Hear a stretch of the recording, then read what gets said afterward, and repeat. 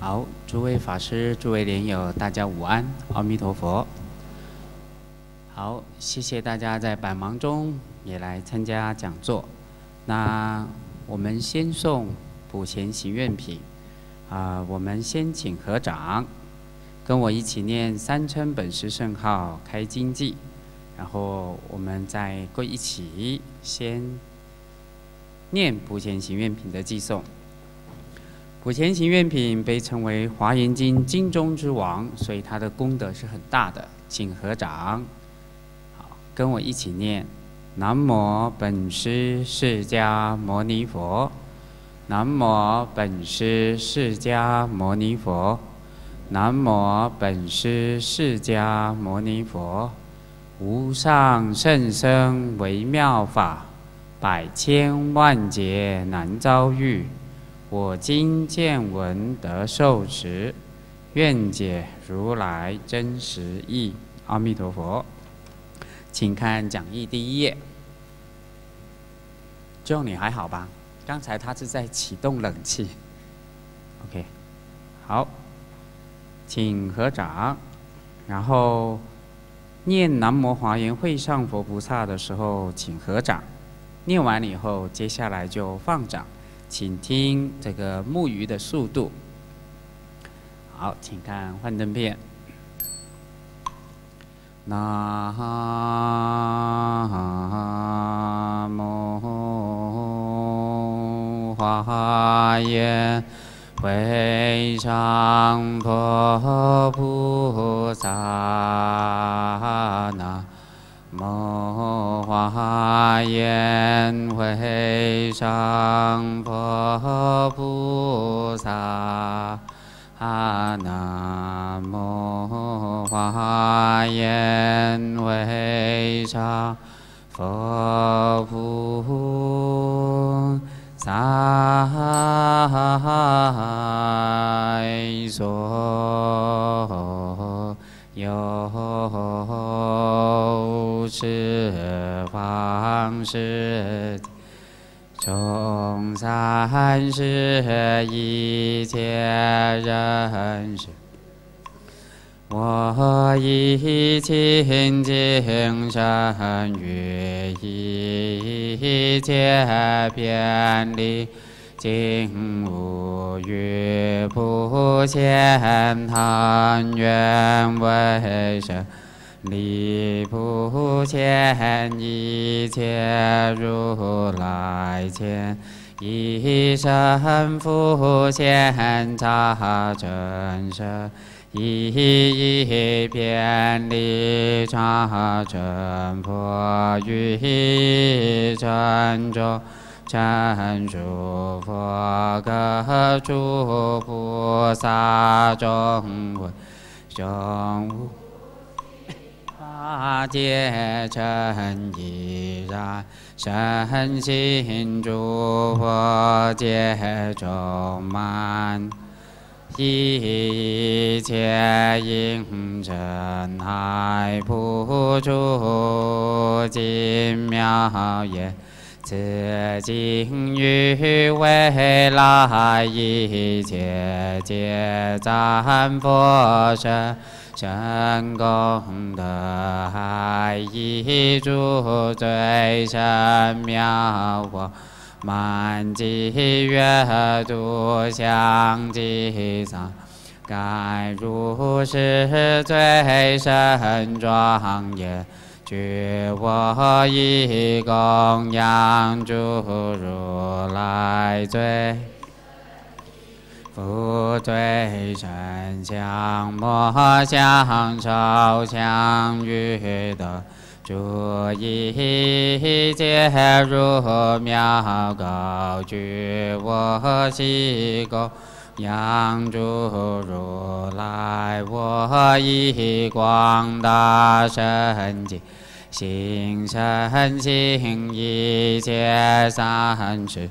佛系不见他愿力，不变供养诸如来，我悉所造诸恶业界有无始贪者，知众生于之所生一切我境界藏，为十方一切诸众生。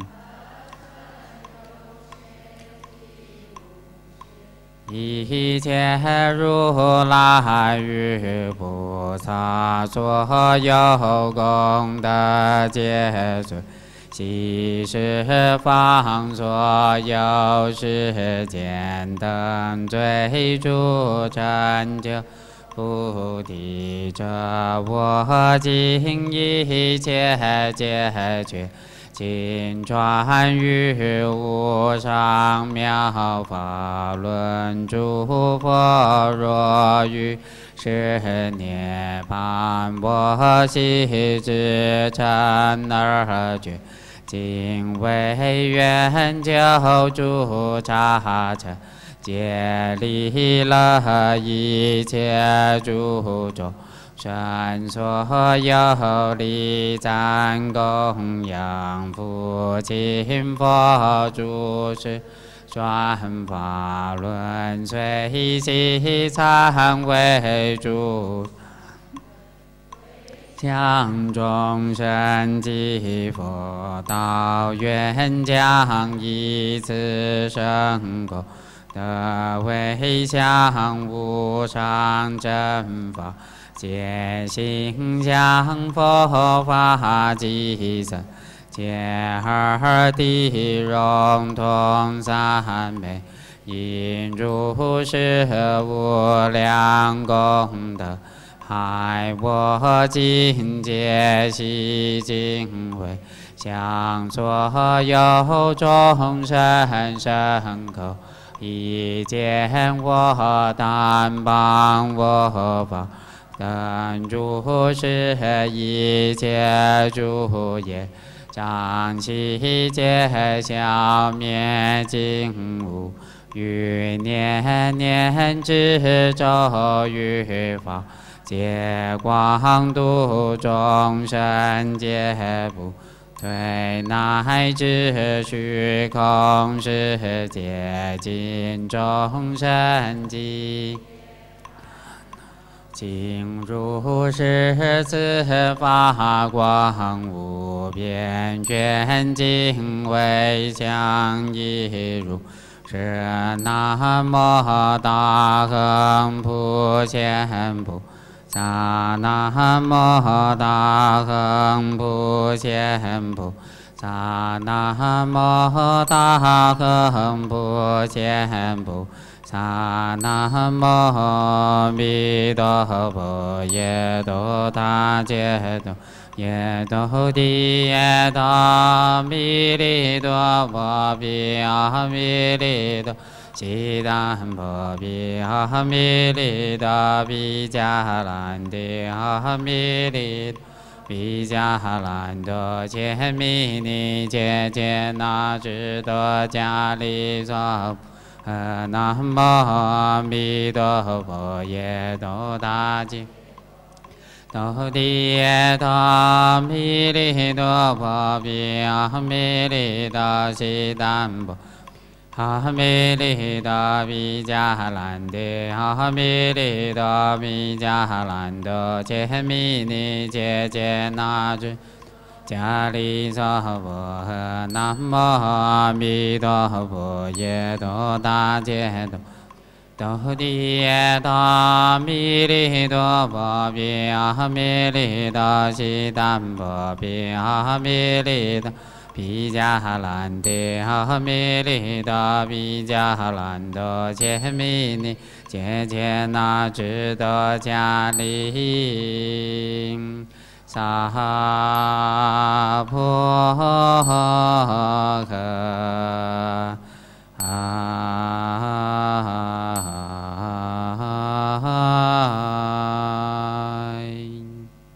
好，各位念得很。现在我们静坐几分钟，背挺直，身体放松。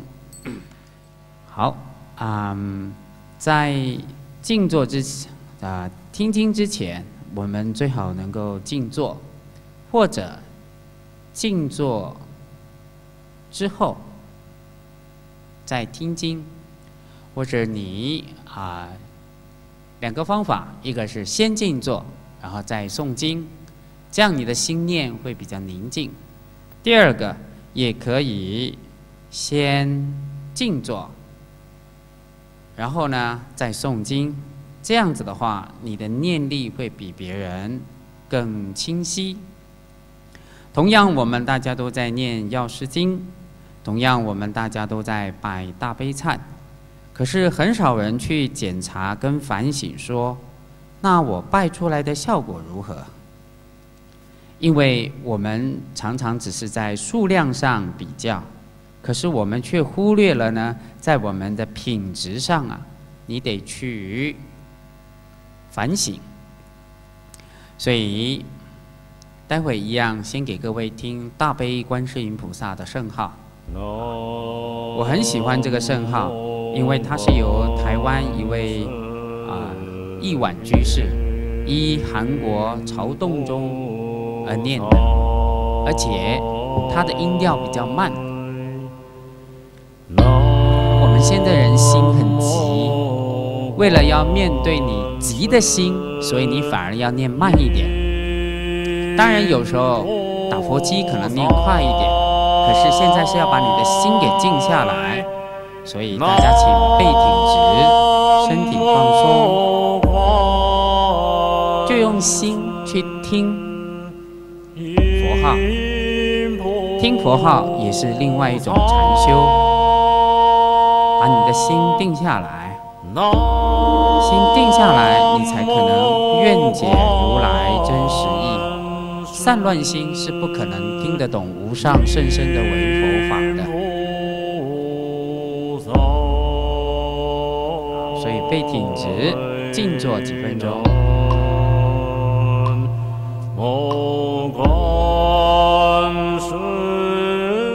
也请看幻灯片。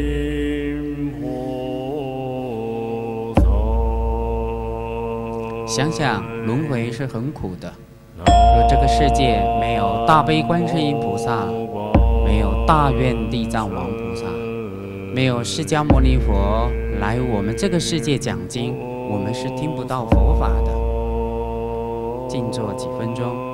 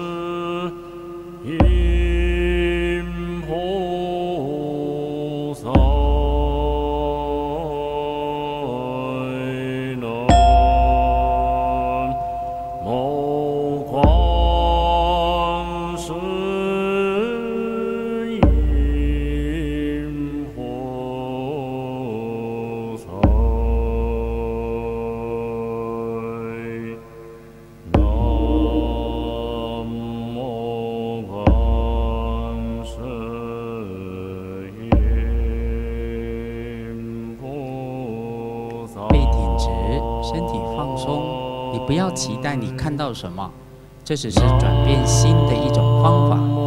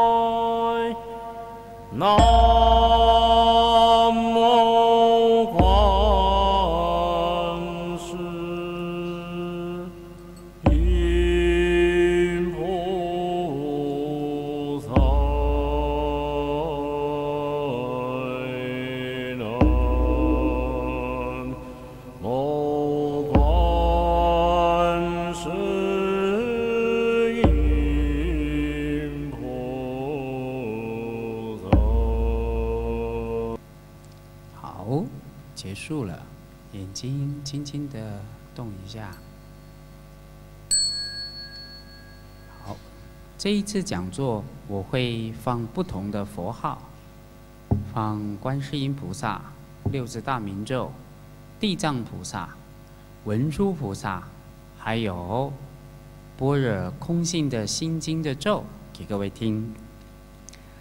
这个方法我觉得很重要，因为我自己也试过。现代的人非常非常的忙，在忙碌当中啊。有时候你下了班呢，你已经是累得像一条狗了。英文讲 very exhausted，然后呢想到说天哪，我已经下班很累了，我还要做功课，你自己就会会升起排斥的心。甚至呢，哎，听说新加坡佛友呢，哎，跟师父照相，然后呢，假如他今天很累呢，就把星红法师的照片给盖起来。师父，我今天不念普贤行愿品了。嗯，这里说明了一个现象，就是你选错了时间做功课。好，今天讲经的第一个问题 Q&A，请写下来。希望你能够去察觉你的精神是早上比较好，还是中晨中午睡完午觉以后比较好，还是晚上精神比较好？每一个人的身心状况是不太一样的。有人呢像夜猫子一样，晚上他精神很好。有些人早上他是很昏沉，有些人他是中午睡完午觉了以后，他精神会比较好。传统上说，大概在吃完饭、精行休息完后的一个半小时，或者在你十二点要吃饭，其实十一点呢，头脑是最清楚的，因为那个时候，也就是吃完饭后的一个小时，或者还没有吃饭的前一个小时。这两段时间你是最清楚的，那当然每一个人的情况是不一样的，所以有些人早上四五点起来是比较清楚，所以我也看得出来，全世界大家工作压力都很大，尤其各位都是很在家居士，在家居士能够像各位这样学习佛法是很难得的。但是我发现你们都是回了家，放了工，冲完凉才开始说“嗡嘛呢呗咪吽，轰轰轰轰轰轰轰”，你只想把它念完而已。不，换个方式，先睡觉，第二天早上起来再做早课。也就是说，人经过一天疲惫的身心以后，你就先冲个凉，就好好睡个觉，点完香，拜个佛，发愿完你就睡觉。假如你家人是六点起床，那你早上五点就起床，因为人的睡眠真正只有四五个小时而已。在《阿含经》里面说，佛的圣弟子啊，大概晚上十点睡觉，天亮两点或三点他就起来了。其实我们睡眠真正只要呢，充足的睡眠，在家居士大概五六个小时就可以了。是让你快要起来的时候，你是翻过来翻过去，翻过来翻过去，然后就在发梦，然后待会枕头掉下来，人等也掉下去，是不是？其实你都是翻来翻去，睡觉前你也在翻来翻去，醒来的时候也翻来翻去，所以其实我们真正睡眠时间不用很多。就像你中午很累很累的时候，你打个盹，十五分钟休息，闭目养神，精神就好了。所以希望大家能够睡饱以后，比家人早起来一个小时，然后你可以做功课，你可以诵经，然后你可以稍微静坐，以快乐的心情来哎看幻灯片，为利众生愿成佛，这样去上班。不要一大早呢是发了脾气，匆匆忙忙的，然后这个也忘了，那个也忘了，这个也急，那个也急。尤其出门之前呢，吵架是一个。一天很不好的开始，你要学着调服你的心，所以你觉得应该很高兴的啊！我今天呢虽然去做工，但是我做工就是我的菩萨道，我可以跟众生广结善缘，我应该以这种为利众生、愿成佛的心去工作，那你就会很欢喜。那一切呢，你工作的时候也会很顺利。第二个啊，也建议各位从第一页到五页。我发觉新加坡人越来越忙，真的是非常忙，忙到呢，哎，就是听经闻法时间也很少，回到家就永远有做不完的事情，世间的事情，出世间的事情，有些莲友还发心来 Meta，对不对？做义工，来打扫，来煮饭，来做各种服务工作，很好。所以你跟师傅都一样是二十四小时。那现在呢，大家都会问一个问题。师傅有什么经是啊消业障最快的，会发财的，所求如愿的啊，一切都顺利的。当然，所有的经都是佛说的。佛讲每一部经的时候，每一部经都是经中之王。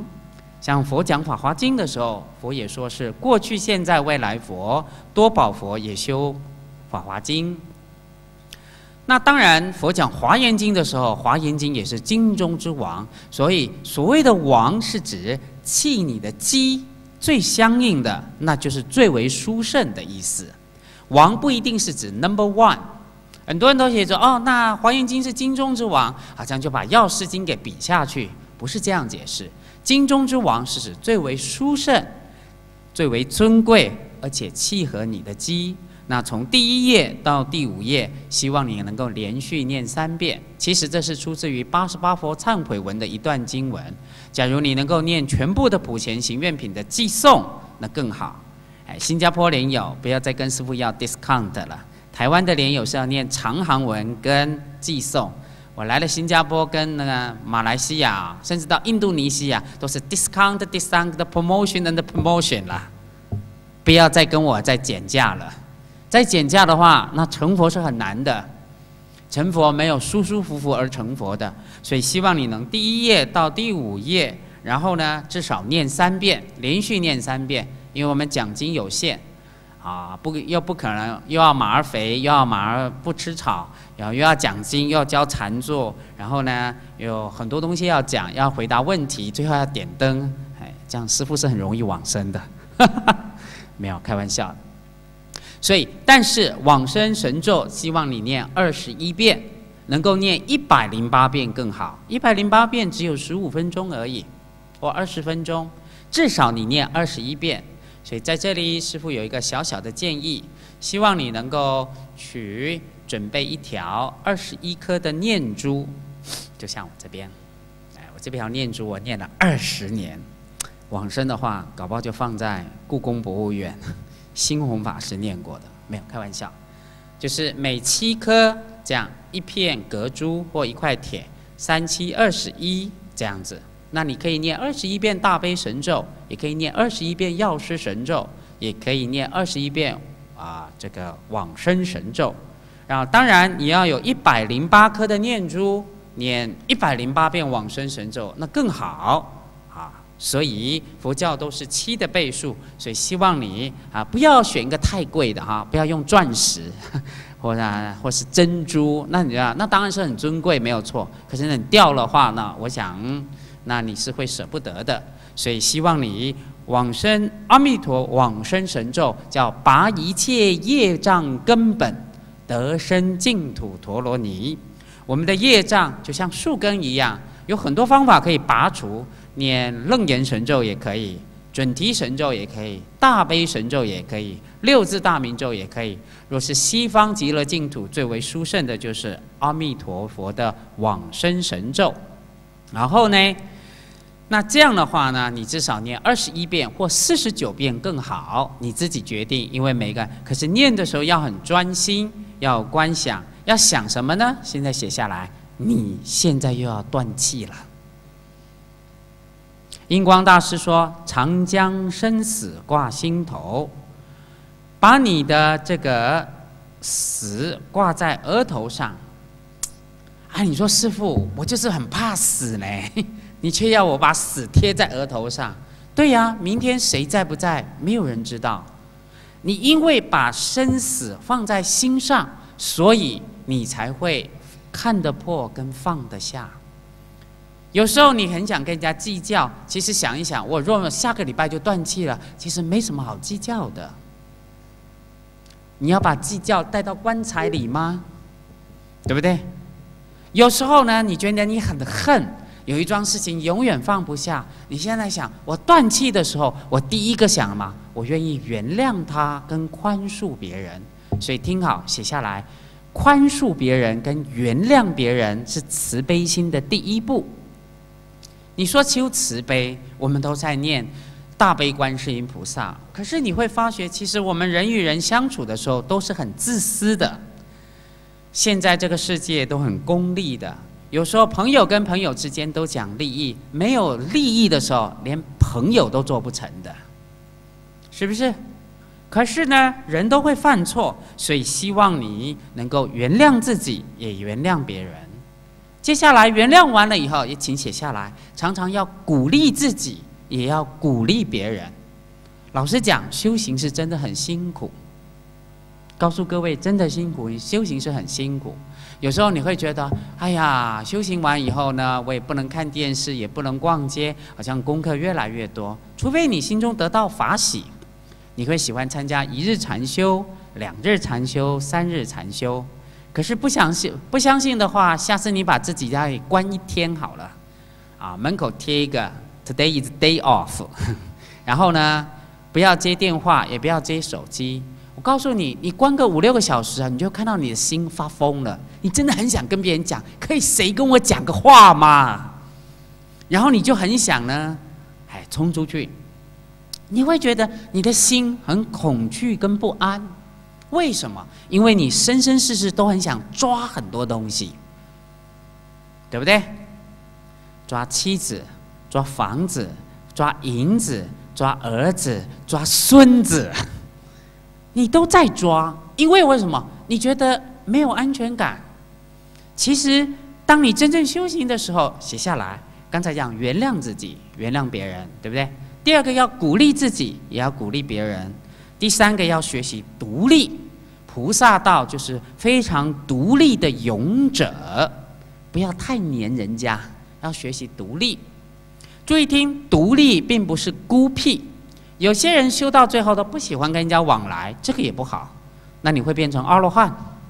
菩萨道的功德，再看再看，幻灯片，为利众生愿成佛，是在你利益众生跟人跟众生互动当中，才升起功德的。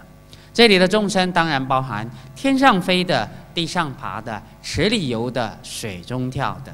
假如你现在用药师经，非常的精进，待会念法华经也很精进，念了一个礼拜以后，幽冥界众生来找你了，你怎么办？有人说：“哎呦，赶快走，赶快走，你去找新红法师。新红法师功德力比较大。不是你不是要度众生吗？他现在就需要你度啊，他一定跟你有缘呐。所以佛教的这种众生不是只有人，天上飞的、地上爬的、池里游的、水中跳的，看得到的、看不到的，一切都是芸芸的众生呐。你不是发愿众生无边誓愿度吗？”你在拜大悲忏的时候，不是也拜南无大悲观世音，愿我速度一切众吗？可是你嘴巴念一念而已啊，可是在旁边你的佛友啊，哎，你都不太理人的。你这样嘴讲一讲，哎，不太容易得到佛法的利益，所以希望你要原谅自己，也原谅别人。第二个要鼓励自己，也要鼓励别人。第三个要学习独立，这样子你行菩萨道当中才会勇猛精进啊！这是我下午呢，啊有感而发，我突然想讲经之前我应该讲一讲。好，接下来看讲义，请看前言。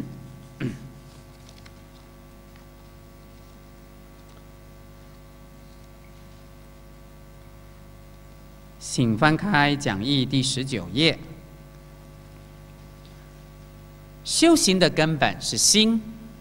第二个，我们要圆满自利跟利他的两个大愿。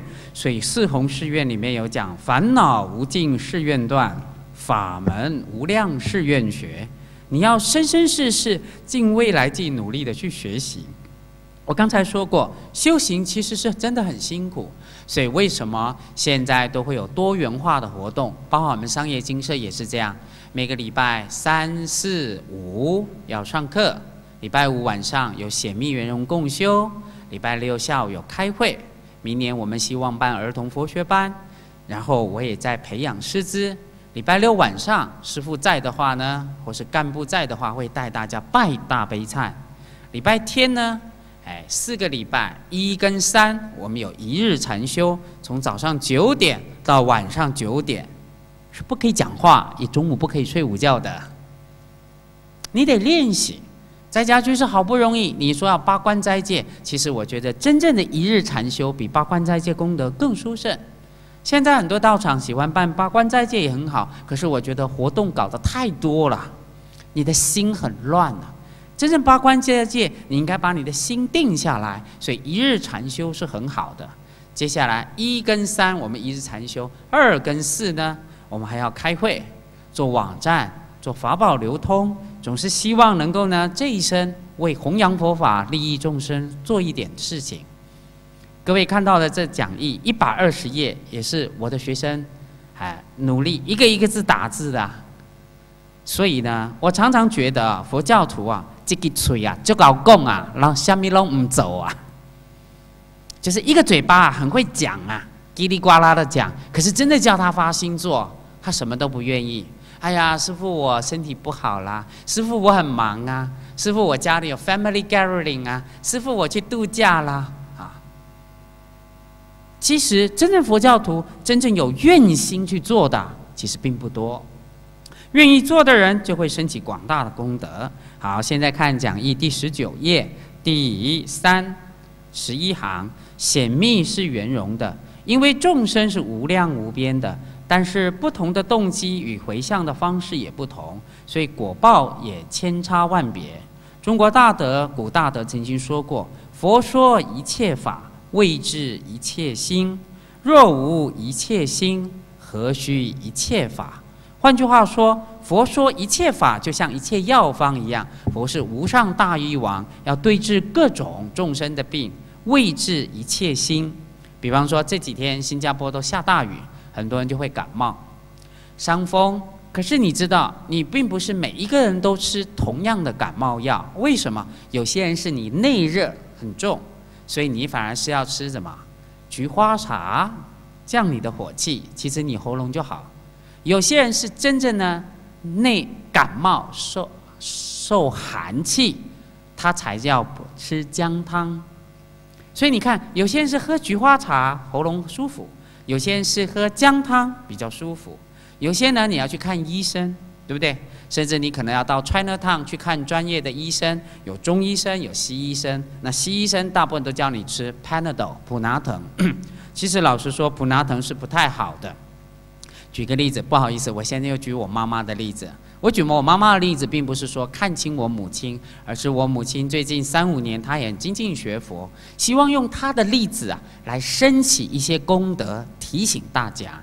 在座很多人都有妇女病，动不动偏头痛就吃一个普拿疼，对啊，待会呢肚子痛又一个普拿疼，待会呢中风呃伤风了又普拿疼。普拿疼是不能吃太多的，一天呢吃八个啊是最大的极限。结果我妈妈竟然吃了三十年，吓死了！那不是慢性自杀吗？我们中国人都想过年你要长命百岁，注意听，脑筋想要长命百岁，可是你的行为啊，你是在慢性自杀。所以我也希望哈，新加坡除了各个道场除了有法会，然后有诵经之外，其实应该办多这样办一些医学讲座。比如说，老人家有骨质疏松症啊，我们桑杰金社上个礼拜就有请人来演讲啊。还有呢，亲子、父母跟小孩相处的不好，亲子的教育，这些东西都很重要。因为这些东西，若你没有处理得很好，其实你菩萨道上中会有很多障碍。好，请问现在你假如到了感冒药中药店。难道你就跟医生说：“医生，你不用看病了，我就要那一副贴，叫十全大补丸。你感冒还吃十全大补丸，吃的结果只有两个：一个是药到命除，你就往生了；第二呢，你吃的话你会流鼻血的。为什么？同样是感冒，每一个人的体质是不一样的。所以在这里哈，师傅很真心的跟你讲，不要买人参给我吃，师傅没有这个福报，哎。”你的好意是很好，可是这不是我需要的。你们都很想供养法师，其实你都是用自己的想法去供养法师。我告诉你，师傅也是半个医生，我自己学过中医，我还会针灸，我自己会照顾我的身体。哎，你不要来烦我，我就会长命一点。当然，你来问我佛法，我还是会尽心照顾你的，鼓励你。重点是什么？我们去药方的时候，你要听医生的话。很多现代人友是这样去了哈，都不跟医生商量，然后医生叫他回去服药。哎呀，怎么这么多颗？自己就把药拿出来就不吃了。请问世间都如此，假如你不照医生所开的药方吃，你的病是不会好的。那观音菩萨没有保佑你吗？不是你自己呀，伤害你自己的身体。所以我妈妈呢，前几个月呢进了哎所谓的长庚医院啊，不对啊，更新医院，就是基督教医院。为什么？她胃溃疡呢，要开刀啊啊！那因为我很忙，我的妹妹并没有告诉我。我说这种事情怎么不跟我讲？妈妈都住院了。我说万一你往生呢？那起码你要通知我，我帮你助念呢。她说：“哎呀，不好意思啦，师傅你很忙了。你看又来假假的。”我最讨厌中国人假假假错地方了，对不对？该讲真话你又不讲，对不对？结果呢，他进去的时候，他很怕死，很认真念“嗡嘛呢呗咪吽，嗡嘛呢呗咪吽”，求观世音菩萨，大难不死，必有后福。我后来知道的时候，我们金色也有帮他点灯回向，当然我的妹妹也照顾他，好，好，我也帮他诵经回向，最后呢，平安出院了。出院，他第一句话跟我讲。哎呀，新红师，还好我活着。我说怎么样？他说轮回很苦啊。对呀，你就是遇到苦的时候，你才会想到佛菩萨。请写下来，遇到苦你才会想到佛菩萨。你快乐的时候，你是不会想到佛菩萨的，是不是？所以苦是你最好的老师，因为苦是你觉悟的机会到了。当然，苦也有很多原因。苦可能是因为你过去的业与烦恼，所以在菩萨道当中，不要祈求一帆风顺，那是不可能的。为什么呢？假如一帆风顺的话，你的傲慢心会很强。对不对？就像有些莲友也曾经来跟我讲，师傅，我也不知道为什么糊里糊涂呢，我就三千步就念完了。我说你糊里糊涂吗？对不对？你想要讲什么？其实他是希望师傅赞美他。哎，答案呢是我刚好戳他一顿呢，我不会赞美你的，因为什么？你傲慢的心啊，炫耀的心，虽然你很有善根，你也比别人精进。你也比别人发心，但是越精进啊，要越谦卑。写下来，因为有恒河沙数的人都在修行，有恒河沙数的人在家出家都在修行，也不是只有新加坡，在你这个团体你修的最好哎，有恒河沙数的人在过去佛、现在佛、未来佛都在修行，天上也有无量无边的大菩萨。人间也有菩萨千百亿化身，地狱恶鬼畜生也有佛菩萨的千百亿化身，所以越用功的人呐，应该越谦卑一点，越低调一点，知道吗？好，我现在想讲一个故事，在六字大明咒我讲过，从前西藏有一个帕崩卡禅师，帕崩卡禅师是非常了不起的。伟大的仁波切，他讲西藏的掌中解脱论，他也能讲入菩萨行论。那有一天呢，他被邀请到一个大的寺庙，有一万人要听他听经。结果他来的时候啊，也没有人接他，他就一个人来。而且他是一个伟大的仁波切，他穿的呢就是破破旧旧的衣服。到了门口呢，啊，然后呢，他有一个年轻人，其实也不知道他就是要讲经的法师。结果呢，他就没有人招待他，他就坐在旁边喝茶。然后呢，有一个年轻人就在读《掌中解脱论》。他说：“你在读什么？”他说：“我在读帕崩卡禅师啊，这个大师写的《掌中解脱论》。”他说：“你这个臭老头啊，你大概是没读书啊，你不知道《掌中解脱论》很伟大吗？”他说：“嗯，年轻人，你很用功，可是你只是读文字而已啊，你根本没有读到心里面啊。”他就讲了这句话，接着讲了这句话呢，没想到待会讲经之前三个小时，大家就迎请上上师，他就站起来，结果上师就走出来了，哈，原来刚才我骂的那个老人家就是帕崩卡禅师，他讲糟糕了，这下，啊，然后他就上去说法。说完法，因为他连续讲三个月，住在寺庙里，因为他是一部很大伟大的论，很长，就像入菩萨行论一样很长。他讲了很久，可是他每天讲完经以后呢，他都会到寺庙的一个佛塔旁边去禅修。有一天，啊，讲完经的第一天，啊，过两三天，他看到一个年轻人，一个老人家在那边打坐。那他就想，我要去考一考这个人。这个人学佛学那么久，到底如何呢？他就呢，他因为那个老人家就坐在佛塔面前呢，就打坐，然后手手上就拿着念珠，Om Mani Padme Hum，Om Mani Padme Hum，Om Mani Padme Hum，Om Mani Padme Hum。那帕邦卡禅师呢，当然看到佛塔先顶礼，他就在他们前面绕三圈，绕了第三圈以后呢，啊，故意呢走他面前呢，就丢个东西吵他一下，再绕啊绕七圈。绕完了以后，再丢一个东西吵他，这时候他就分气了。你不知道我在修慈悲观呐？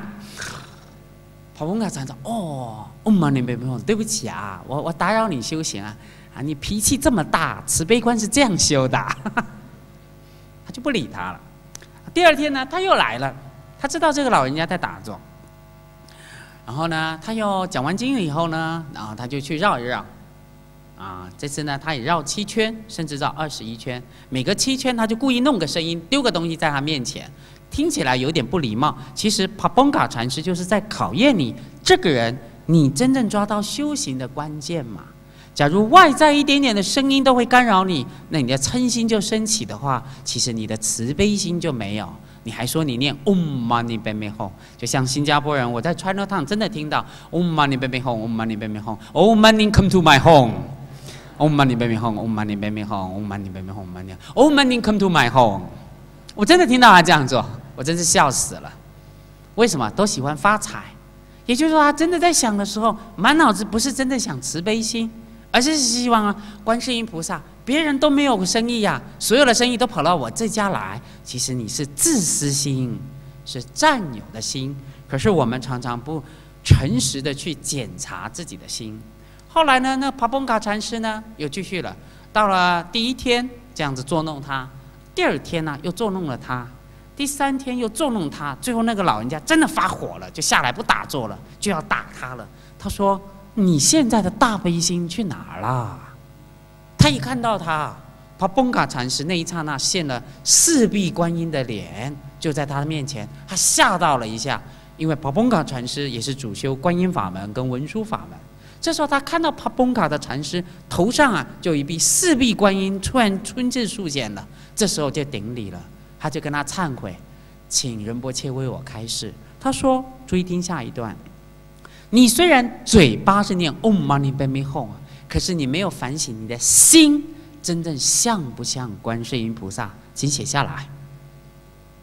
这也是我们华人佛教徒也是这样。”你的嘴巴虽然念了 Om Mani p a m e Hum，可是你没有去反省你的心真正有没有像观世音菩萨。真正的观音菩萨是没有嗔心的，是有耐性的，心是柔软的，是慈悲的。他说：“你知道我这几天为什么故意来吗？我就故意拿个时间东西丢你，看你会不会升起嗔心。”假如你这一点点声音就把你干扰的话，那表示你念 Om Mani Padme 的功夫啊，根本是假的。你要忏悔，修行不是修嘴巴，是要转动你的心。请写下来。待会会讲故事，也是今天《法华经·安乐行品》。其实经文你也会读，但是我希望我来这边真正的鼓励各位是说，各位都是有善根的佛教徒。布施、持戒、忍辱、精进，布施、持戒、忍辱、精进都很难得，也愿意做功德，也布施教育、文化、慈善事业，愿意做义工，对不对？像早上在诵药师经，啊，我吃完饭在外面进行，我也看到里面很庄严。但是啊，我觉得大家忽略了一个重点，大家只看外在的表象做什么，你却忽略了。在做这些诵经、拜佛、供香、做功德的时候，看过来，你有没有转动你的心？这就是安乐行品讲：身安乐，口安乐，意安乐，誓愿安乐。否则，你会觉得佛法很有用，可是当烦恼来的时候，你会觉得都用不到。答案不是佛法没有用，请写下来。不是佛法辜负了你，是你辜负了佛法。你没有抓到真正修行的关键，你没有抓到真正的修行关键是在身口意去转变自己。你没有抓到这个关键的话，所以你就会很苦。然后呢，哎，就像我常常讲的这句话。为了利他，我要愿意改变自己。改变自己不是在嘴巴上改，要在心上去改，你的行为去改。不要介意啊，师傅又举新加坡例子。有时候我去 OG Building 或是 Vivo City，年轻的人服务态度很差。Sorry 啦，I'm apologize to you 啊。有时候我会呢教训他。You apologize only for your mouth, not for your heart. 对不起啦，对不起啦，哈，sorry 啦，我们没有订这个货啦。我问他还有没有其他的 size 啊，他就不太耐烦。我说，假如你不是很高兴的话，那你为什么要在这里做呢？我们客人就是有问题呀，才问你啦。其实他旁边也没有客人呢，就呢在看呢 SMS 啊，还有看呢 iPod，还有看 Facebook 啊，Facebook 啊。人的心都很散乱，真正我们要请教他的时候呢，他说：“OK 啊，没有啦，全部都在架上，你自己看喽。”我说：“小姐、先生，师傅也没有出家之前也打过工啊。假如架子上都有的话，那废话我还问你做什么呢？那你在这里做什么呢？我就是有不懂才要请教你了。Sorry 了 p a r t y 了，Come back tomorrow，OK？哎，就进去了。你看看现在的年轻人是这样的。”所以，please apologize should from your heart, not from your mouth。同样，你今天对药师佛、对阿弥陀佛、对观世音菩萨道歉、忏悔，忏悔是要从心，不是从嘴巴。嘴巴讲讲，其实观世音菩萨知道不知道？其实他也知道。举一个例子，像呢，假如各位啊，auntie 或者 uncle，你当已经当阿公跟阿妈的人，假如你的小朋友，对不对？今天你的孙呐，还又来跟你塞奶，对不对？哎，啊，阿妈阿妈，对不起哈，我要跟你借钱。你想，嘿，这小子又来骗我了，对不对？前几天刚给他的钱呢，嘿，又不知道花到哪里去了。